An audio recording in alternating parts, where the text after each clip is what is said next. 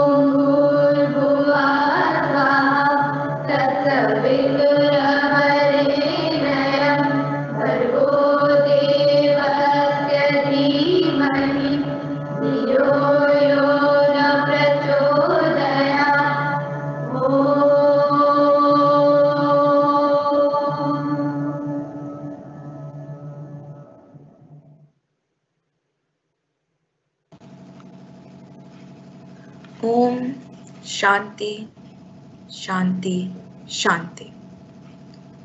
A very good morning to all present here. We have gathered here today to celebrate the legacy of our founder director, respected Padma Shri Mr. M.N. Kapoor on his birth anniversary. Born on 20th December 1910, Shri M.N. Kapoor was a visionary as well as a reformer in the field of education an exceptional student as well as a footballer in his younger days. Mr. Kapoor grew up to be an exemplary figure to students wherever he went. A firm believer in gender equality, he focused on ensuring that the girl child was given as many opportunities as anybody else. The illustrious beliefs and words of Kapoor sir provided the sound foundation on which our school firmly stands today. I now request our respected principal, Nishi Ma'am, to share her memories of Kapoor Saw with all of us. Thank you, Niharika. Very well spoken. Good morning, parents. Good morning, children, teachers. It's a very momentous occasion. This is the 110th birth anniversary year of Sri M.N. Kapoor. And our school has completed 40 years. All children are aware.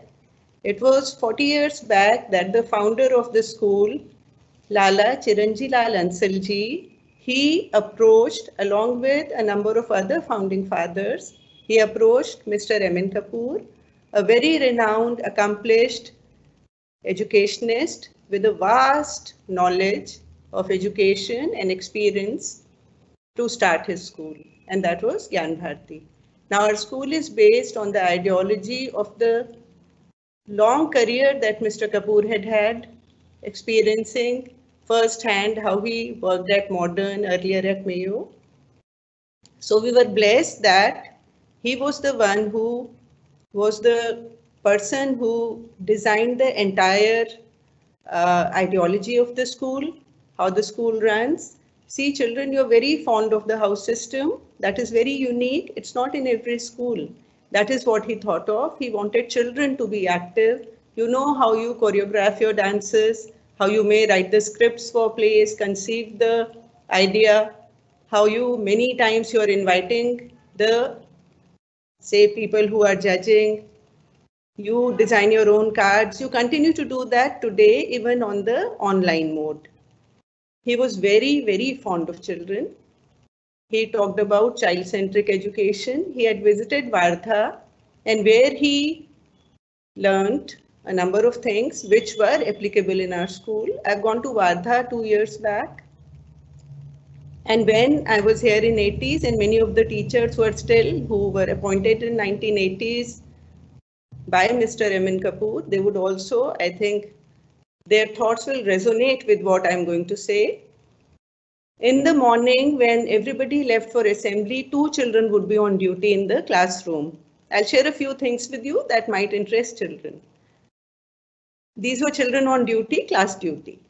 They cleaned the classroom. They cleaned the floor. They also wiped the tables and they were very proud. Roll number wise, these duties were given. Now today, sometimes we get some videos, we get some forwards where children in Japan are cleaning their rooms. In Wardha, the teachers and the students come in the morning, they clean the entire school, including the washrooms. This is what I saw. I also saw another thing last year and Mr. Kapoor believed in it. It was happening in our school in his time. When there was any issue of discipline, children were called and the whole matter was discussed how this has to be dealt with and their opinion were, was sought. Okay. Houses were on duty for a week, like they are on duty for a week now. But there were children on ramp duty, there were children on uh, staircase duty. And they would mind children not running, going in a line. Those were the things they, and they sat with notebooks and they wrote. If a children was not behaving well and that was reported. It was never uh, punishment at that time, not at all. Children were asked to introspect, to observe self-discipline. And children were, the number was smaller, I would agree to that. The number of children was not like we have today. There was a very close connect with the children, which I feel still exists.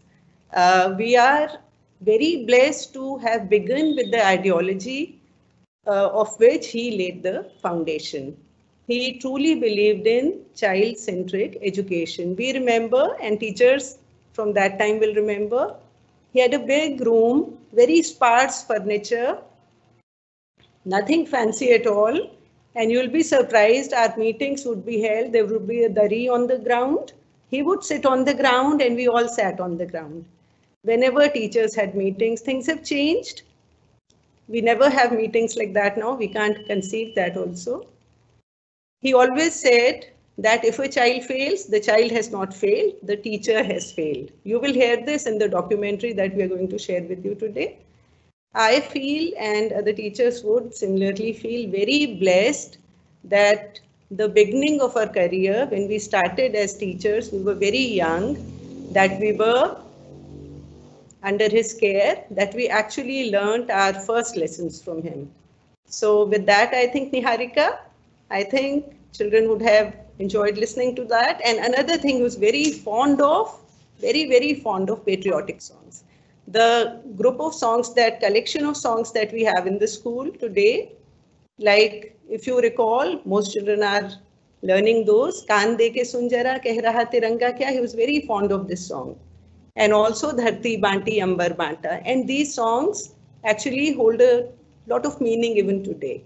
So let us move on with the program now. Niharika, over to you, beta. Carry on now. Thank you. Thank you so much, ma'am. Shreya Giridayal of class SS1D will take you down the memory lane with a presentation on the life and achievements of Kapoor sir. This presentation has been compiled by Prasanjit Panda of class SS1B.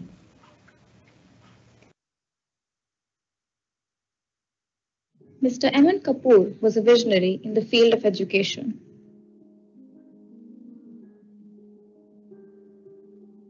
He was born on the 20th of December 1910 in Gujranwala. After a spell of homeschooling, he completed his matriculation from American Mission School, Gujranwala. He got accepted into Government College University, Lahore, and obtained a master's degree in physics in 1932. Apart from excelling in academics, he also made a mark as a sportsperson in football, boxing, and especially swimming. Kapoor sir started his career as a teacher in 1933 when he served as an illustrious member of the erudite faculty of Mayo College, Ajmer. He was appointed as the principal of Modern School in 1947 at a surprisingly young age of 37. He was a mentor as well as an idol to students there for three decades. Kapoor sir began experimenting by giving students an opportunity to directly interact with renowned personalities within India as well as from other countries. He believed in gender equality and put various efforts into ensuring that the girl child was given equal opportunities. He encouraged them to take part in various school activities. He was a noted educationalist of his time, and his various articles published in The Statesman provide us a glimpse into his philosophy of education. In 1969, he was awarded India's fourth highest civilian award to honor his contributions in the field of education. He stepped into the portals of Gyan Bharati School as the founder director in 1980 on the request of our founder, Sri Chiranji Lal Ansal, father of our present chairman, Sri Gopal Ansal. The school started functioning under the able guidance of Mr. Kapoor on the 22nd of September 1980. It was based on his vast experience and resultant ideology.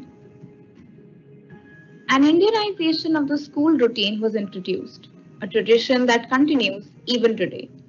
He laid equal stress on academics, sports, and co-curricular activities, thereby encouraging students to excel in the area they had an aptitude for. The routine of our morning assembly comprising of the morning prayer with Sanskrit shloks rooted in the Indian tradition was entirely his conception. Kapoor sir was extremely fond of patriotic songs which we continue to sing even today. To conclude in his words, imparting education is one of the noblest of all professions. Thank you.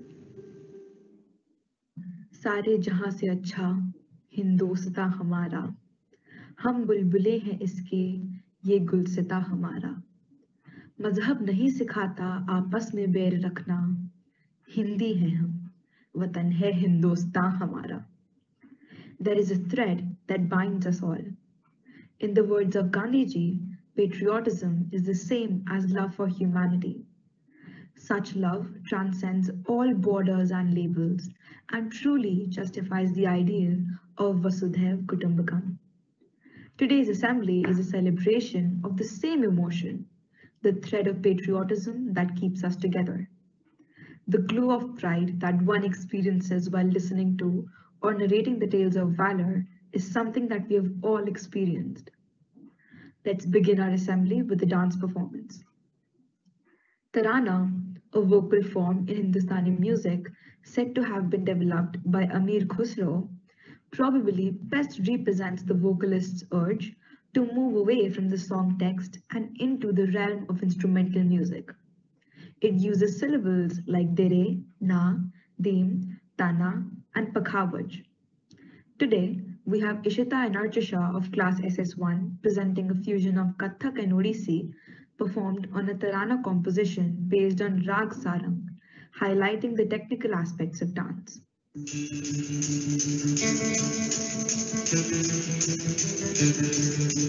Dītān vedtār tadvedāni dītān vedtār tadvedāni dītān vedtār tadvedāni dītān vedtār tadvedāni dīm dīm dom tār tadvedāni dīm dīm dom tār tadvedāni dīm dīm dom tār tadvedāni dīm dīm dom tār tadvedāni dītān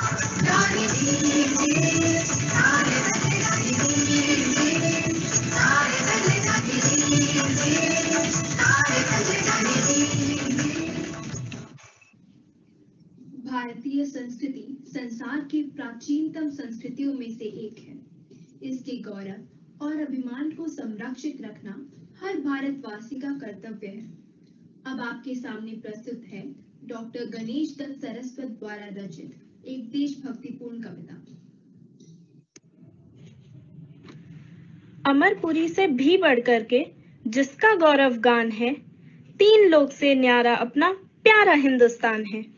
सुप्रभात, मैं देवोप्रिया मुखर्जी, कक्षा ग्यारहवीं B की छात्रा, आपके समक्ष श्री गणेश दत्त सारस्वत द्वारा रचित कविता, प्यारा हिंदुस्तान, प्रस्तुत करूँगी। यह कविता हमारी भारतवर्ष की भव्यता को दर्शाता है।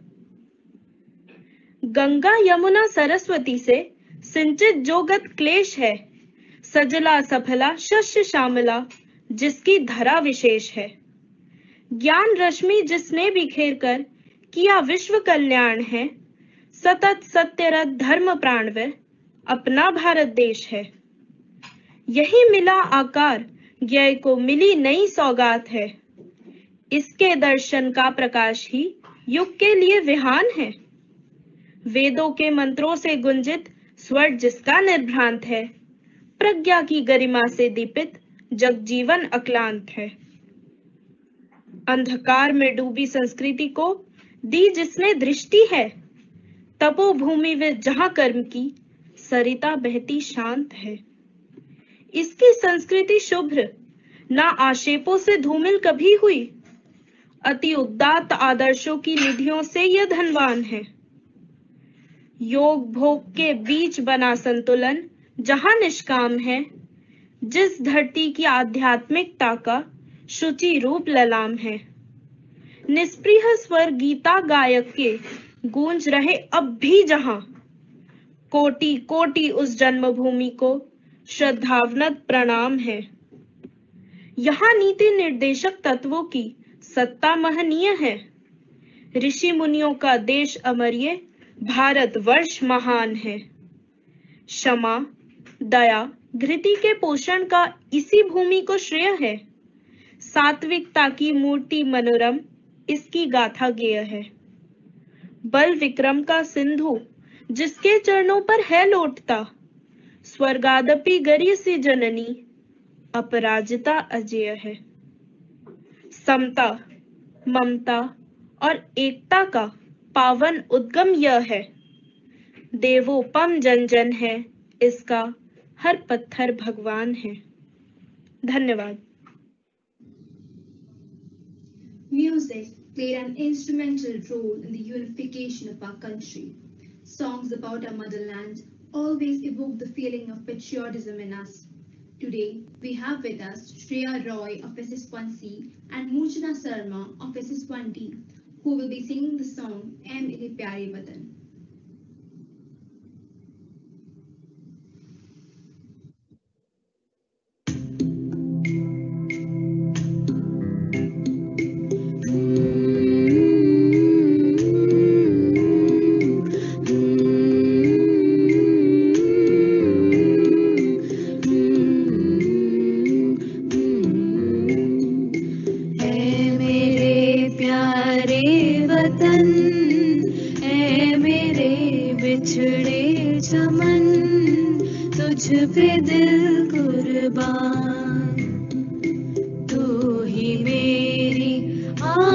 to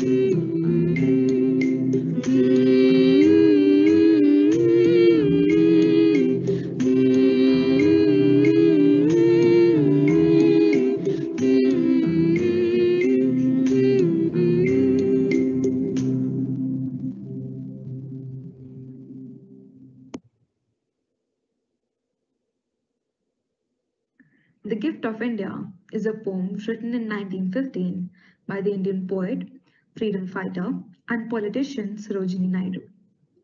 It is an ode to the feelings of a mother whose sons are soldiers fighting for the nation. The poem poignantly talks about the martyrs who were away from their homeland, fighting for freedom, and gave the supreme sacrifice of their lives, all in the name of their beloved country. Even after achieving a glorious and blessed death, they did not have the good fortune to finally rest in their motherland. We have Ike with us to present the poem, The Gift of India. Good morning. I'm Ike from Mrs. Vane and I will be reciting the poem The Gift of India by Sarojini Naidu. The poem is a passionate outpour of a mother whose sons have been shipped off to fight for the country's independence. She says that though the fight for freedom is long and exhaustive, she hopes it leads to an ultimate glory, all the while in remembrance of those that died for it. The gift of India. Is there aught you need that my hands withhold? Rich gifts of raiment, or grain, or gold? Lo, I have flung from the east and the west priceless treasures torn from my breast, and yielded the sons of my stricken womb to the drumbeats of duty, the sabres of doom. Gathered like pearls in their alien graves, silent asleep by the Persian waves. Scattered like shells on Egyptian sands, they lie with pale brows and brave, broken hands. Strewn like blossoms mown down by chance on the blood-brown meadows of Flanders and France. Can you measure the grief of the tears I weep, or compass the woe of the watch I keep, or the pride that thrills through my heart's despair? And the hope that comforts the anguish of prayer. And the far, sad, glorious risen I see of the torn red banners of victory, when the terror and tumult of hate shall cease, and life be refashioned on anvils of peace, and your love shall offer memorial thanks to the comrades who fought on the dauntless ranks. As you honor the deed of the deathless ones, remember the blood of my martyred sons. Thank you.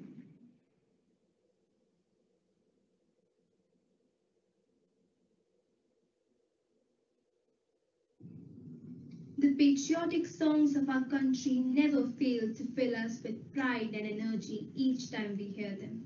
They get your blood hot, uplift your mood, and set your feet marching. They make us one with the soldiers stranded at the remote stations guarding our motherland.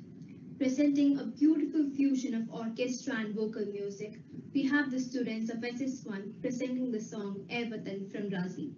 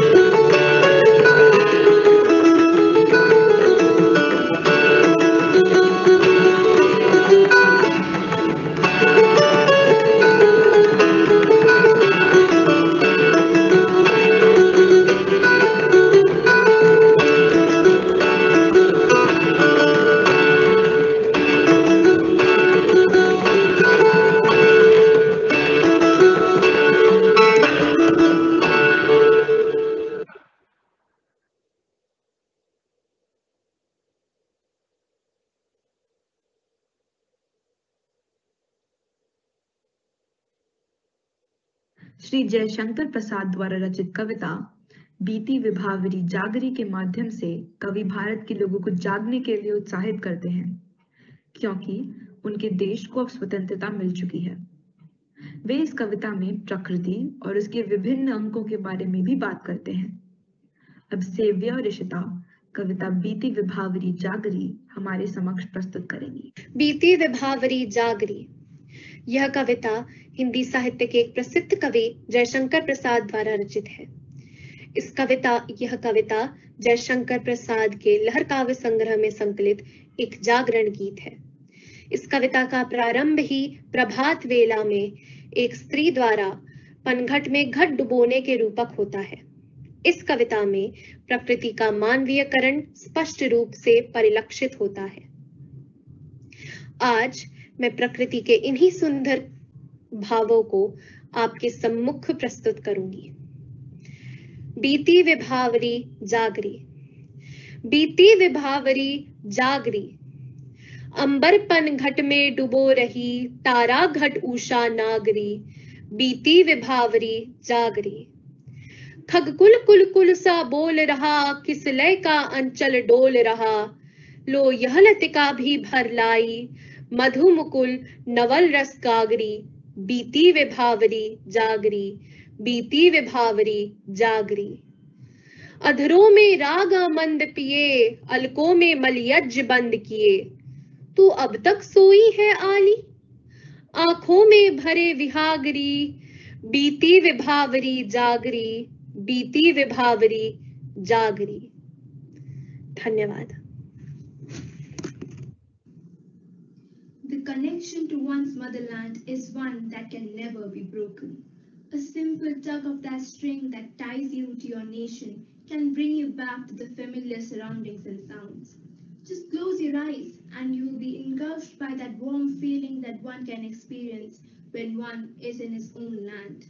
The students of SS1 are here today to attempt to invoke the patriot in you and to enable you to experience the same warm feeling through the beautiful song Ye Jo Hai.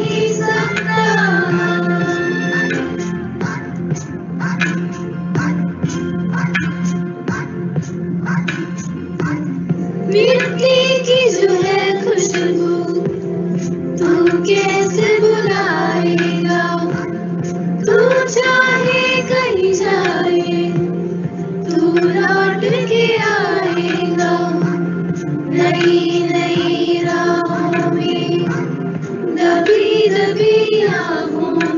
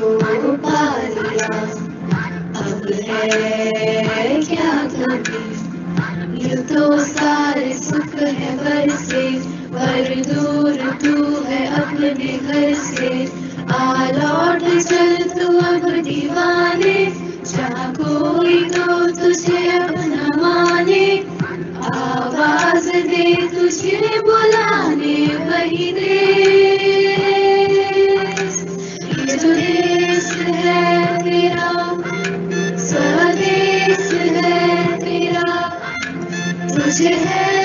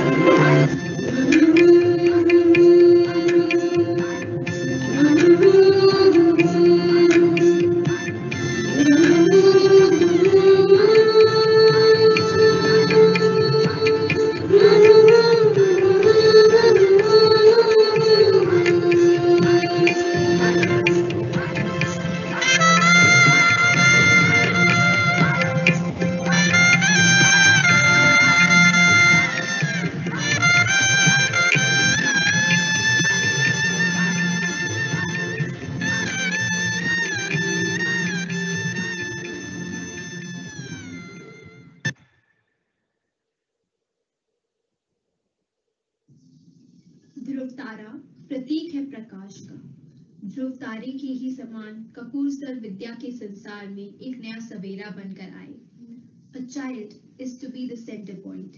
इसी मंत्र को अपनी सोच की आधारशिला बनाते हुए ही Kapoor sir ने शिक्षा की दुनिया में अपनी स्थापना करी उन्हीं की इस विशिष्ट यात्रा के कुछ क्षणों से आपको अवगत कराने वाली है हमारी यह अगली प्रस्तुति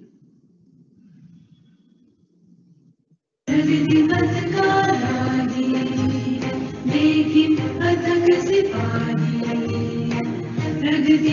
का है।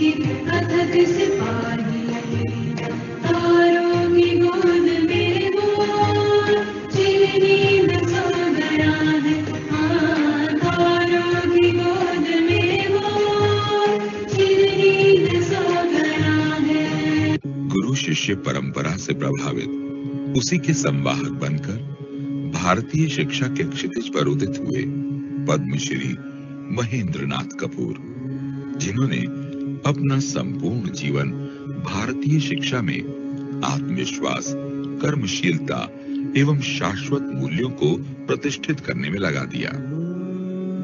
अब पाकिस्तान में स्थित गुजरावाला नगर के एक समृद्ध परिवार में 20 दिसंबर सन 1910 को श्री एम एन कपूर का जन्म हुआ। उनके पिता ब्रिटिश सरकार में सिविल इंजीनियर थे। उनकी माता आर्य समाज की सक्रिय कार्यकर्ता थी। अपनी प्राथमिक शिक्षा श्री एम एन कपूर ने गुरुकुल के वातावरण में प्रारंभ की। हम बहुत छोटे थे।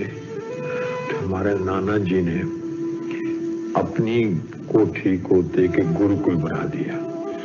दो गुरुकुल है, एक गुरु, गुरुकुल कागड़ी था, ये गुरुकुल गुजर वाला था। गुजरावाला में मैं पढ़ा हूँ, मैट्रिक भी वहीं से किया, पर गुरुकुल से नहीं किया था।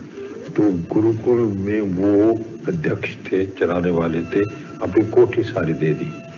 उसमें उन्होंने गुरुकुल चलाया। तो पहले मेरे साथ थोड़े गुरुकुल पे थे फिर हमारे फादर इंजीनियर थे। बदलते बदलते रहते थे, कभी यहाँ, कभी वहाँ कभी वहाँ। फिर गुजरन वाले आए। हमें अमेरिकन मिशन स्कूल में डाला। वो अमेरिकन मिशन का स्कूल था। सुबह हमें वो प्रेयर खड़ी होकर कराते थे। तो बोलते तो बाइबल से कुछ बोलते थे। हम सुनते रहते थे, चुपचाप करते बिखर जाते थे। पर अब हम डरते बहुत थे टीचर्स से भी सब थे। मिशन के बाद हम कॉलेज गए। अब मिशन के बाद जब कॉलेज गए तो फ़र्स्ट युद्ध हमारा आ गया था। अब गवर्नमेंट कॉलेज लाहौर में दाखिल होना बड़ी मुश्किल बात थी।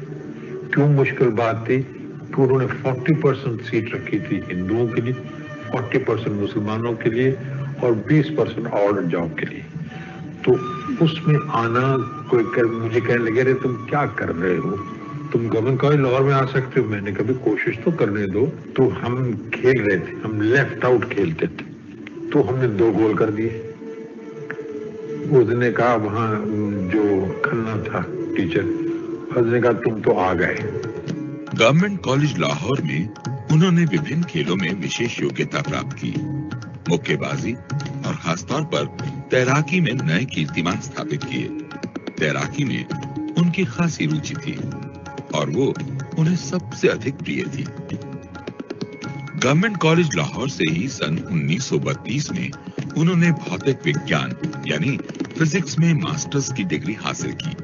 सन 1933 में उन्हें अजमेर के प्रसिद्ध मेयो कॉलेज से नियुक्ति पत्र प्राप्त हुआ। सुदर्शन व्यक्तित्व के धनी श्री महेंद्र नाथ कपूर के अति अनुशासित और स्वाभिमानी चरित्र ने बहुत शीघ्र ही वहाँ पर अपना प्रतिष्ठित स्थान बना लिया।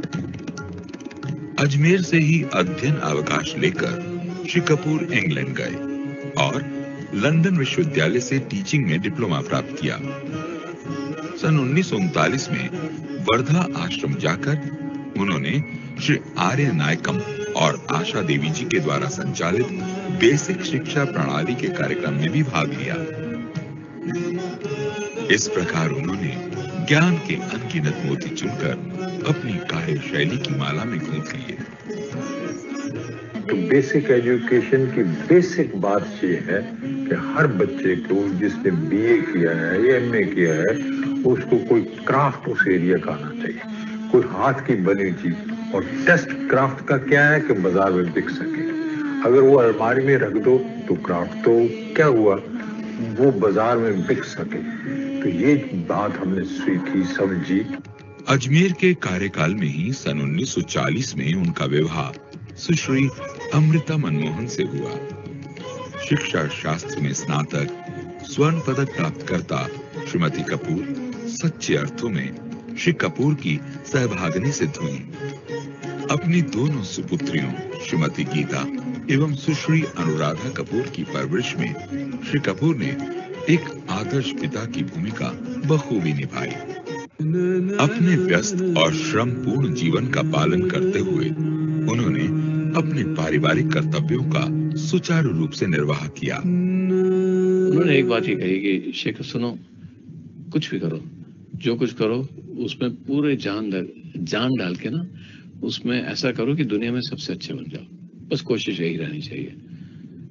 तो बात याद है मुझे आज तक। श्री कपूर को जैसे अपने कर्तव्यों का पूर्वाभास हो रहा था। सैतीस वर्ष की आयु में, सन उन्नीस में श्री कपूर दिल्ली के मॉडर्न स्कूल के प्रिंसिपल पद के लिए चुने गए। संभवतः श्री कपूर उस समय की शिक्षण संस्थाओं के सबसे छोटी आयु के प्रिंसिपल थे। दिल्ली के वरिष्ठ समृद्ध समाज सेवी राष्ट्र प्रेमी लाला श्री रघुवीर सिंह ने राजधानी के नागरिकों के सहयोग से भारतीय संस्कृति और आधुनिक शिक्षा प्रणाली को समन्वित कर जिस शिक्षण संस्था की स्थापना की थी, उसे जैसे श्री महेंद्र नाथ कपूर की ही प्रतीक्षा थी। सहयोगी अध्यापकों के साथ उनके संबंध बेहद मधुर थे। परस्पर विचारों का आदान प्रदान करते हुए उन्होंने शिक्षा की अविरल धारा को निरंतर प्रवाहित रखा। टीचर को बेटे की तरह कहते थे मैं बेटा इस तरह से पढ़ाओ कि बच्चे के समझ में आ जाए। आपकी एकेडमिक ब्रिलियंस वो नहीं देखना चाहता। आप कितने लायक हैं ये नहीं। क्या उसके समझ में आई है ये बात? जो आपने पढ़ाई है अगर नहीं आई तो आप फेलियर है। श्री महेंद्र नाथ कपूर ने शिक्षा के क्षेत्र में नित नए प्रयोग किए। सिर्फ़ पाठ्य पुस्तकों और पाठ्यक्रम के ज्ञान तक ही उसे सीमित नहीं रखा, बल्कि साक्षात अनुभव करने की स्वतंत्रता भी छात्रों और अध्यापकों दोनों को दी। व्यवहारिक अनुभव पर उन्होंने विशेष बल दिया। इसी कारण उनके छात्रों ने अपने चुने हुए क्षेत्र में असीमित सफलता हासिल की। अनुशासन के प्रति श्री कपूर अत्यंत सजग थे। उनका मानना था कि अनुशासन रीढ़ की हड्डी के समान सदा सुदृढ़ और तटस्थ रहना चाहिए। समाज में अपने उत्तरदायित्व का निर्वाह सदैव करना चाहिए। ये गुरु मंत्र उन्होंने छात्रों को व्यवहारिक रूप से दिया। वे अक्सर ये पंक्तियाँ छात्रों के सामने दोहराते I was crying for a pair of shoes till I saw a man without feet. बच्चों को अपनी योग्यता, यानी मेरिट के आधार पर आसमान छूने के लिए वे उन्हें निरंतर प्रोत्साहित करते। श्री एम एन कपूर का विचार था कि विभिन्न प्रकार के खेल और शारीरिक व्यायाम आदि की सुविधा बच्चों को अवश्य मिलनी चाहिए, ताकि वो अपने स्वभाव, योग्यता और क्षमता अनुसार अपना विकास कर सके। मॉडर्न स्कूल को 30 वर्ष तक अपनी विशिष्ट सेवाएँ देकर अवकाश प्राप्त करने के उपरांत कुछ वर्षों तक वे माउंट आबू के गुरु शिखर स्कूल से जुड़े। उसके बाद दिल्ली के ही ज्ञान भारती स्कूल के डायरेक्टर के रूप में 10 वर्षों तक पदासीन रहे। उस संस्था की कीर्ति को भी उन्होंने देश विदेशों में रोशन किया। मुझसे तो यही कहते थे कि आप यहाँ पे आप अपना अनुभव करिए, यहाँ पे आप एक्सपीरियंस लीजिए स्कूल में। हम आप, हम ये नहीं चाहते कि आप डॉक्टर बने या इंजीनियर बने। और हम ये भी आपसे ये अपेक्षा नहीं करते कि आप बहुत अच्छे ज़्यादा नंबर लेके आइए। हम ये चाहते कि आप एक अच्छे म्यूजिशियन बने। श्री महेंद्र नाथ कपूर का सारा जीवन बच्चों पर केंद्रित था। दिन रात वे उनके विषय में ही सोचते, उनकी मीठी आवाज़ सुनते। उनके मासूम दिलों की धड़कन को महसूस करते। बच्चे को सेंटर नहीं रखा तो आपने सारी एजुकेशन जाया कर दी। ब्लैक बोर्ड बना उनके लिए, कमरा बना उनके लिए, डेस्क बनी उनके लिए। बच्चों के लिए बनी ना। टीचर तो खड़ा भी रहे या बैठा रहे को फ़र्क नहीं पड़ता। हमने अपनी पर्सनैलिटी को दबा के रखा। और बच्चे को बढ़ने दिया जैसे बढ़ता है। अगर टीचर अपनी पर्सनैलिटी को ऊँचा रखेगा तो बच्चा कभी नहीं बढ़ेगा जब बच्चे को बात समझ नहीं आई तो उसको फिर दोहराओ फिर दोहराओ फिर दोहराओ। मैं छह छह दफ़ा दोहराता था। हर दफ़ा डिफरेंट लैंग्वेज में, एक बात सोचने की है। एक बात नहीं समझ आई तो मैंने उसको दूसरी तरीके से समझाया, फिर तीसरे फिर चौथे। का जहाँ समझ आ गई। जिस दिन, जिस वक्त तक बच्चे को समझ नहीं आती थी उस बात को छोड़ता नहीं था। लेकिन जब तक बच्चे को समझ नहीं आई जब बच्चे के लिए, जिसके लिए हम सारा अडम्बर रचा हुआ है, मकान बनाए हुए हैं, डेस्क बनाई है ब्लैक बोर्ड बनाया है, अगर बच्चों को नहीं समझे तो हम ये किस लिए कर रहे हैं? ये हमने धीरे धीरे धीरे समझ आ गई कि चाइल्ड इज़ सेंटर पॉइंट प्रेम, उत्साह और सद्भाव के जो दीप उन्होंने जलाए, उनकी ज्योति आज भी प्रज्वलित है। उनकी याद आज भी हमारे दिलों में ताज़ा है। श्री एम एन कपूर सच्चे अर्थों में आधुनिक भारतीय शिक्षा के एक युग पुरुष थे। हम उन्हें अपने श्रद्धा सुमन अर्पित करते हैं।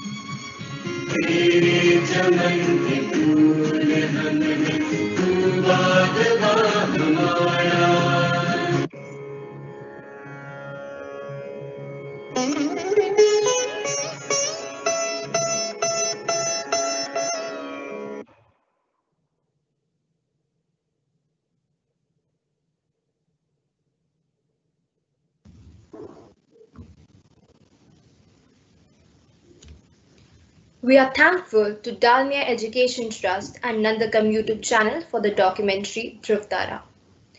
चलो फिर से आज वो नज़ारा याद कर ले शहीदों के दिल में थी वो ज्वाला याद कर ले जिसमें बहकर आज़ादी पहुँची थी देश के किनारे पे देशभक्तों के खून की वो धारा याद कर ले With this message, we come to an end of today's program. Thank you for being here with us to celebrate the spirit of patriotism and the life of Kapoor sir. I extend a hearty vote of thanks to all participants and teachers who helped us put this event together. We would like to specially mention our technical team, including Lakshya Thaplial, Parv Madhva, Prasanjit Panda, and Vinay Rajan, without whose support we would not have been able to put up this show.